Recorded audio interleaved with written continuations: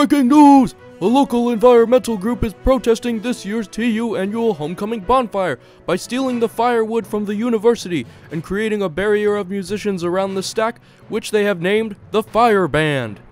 Yeah, man, we like don't want the University of Tulsa to keep polluting the air with all this nasty smoke from their annual bonfire, so we're like gonna protest it with this fire ban, man. Uh, gentlemen, we have a big problem. Homecoming at TU uses 60% of all tuition to properly pull it off. It, it makes the school look better when the parents come into town. However, with this new uh, fire band, we are going to have to come up with uh, another solution to this problem. Any ideas? Like, any at all? I, I will literally take the first idea and roll with it. President Carson? Goldie? You two usually have good ideas.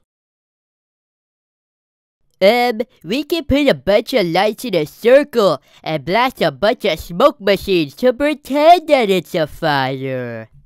Thank you, Campus Possum, who literally has a smooth brain. I'm sure this is a great idea that will definitely not cause a campus wide riot. Breaking news! After a lazily pulled together bonfire ceremony, the students of the University of Tulsa have decided to riot, saying, quote, I guess we'll have to make our own bonfire before burning down the school, completely nullifying the efforts of the fire band. This is indeed troubling news, and I hope the culprit responsible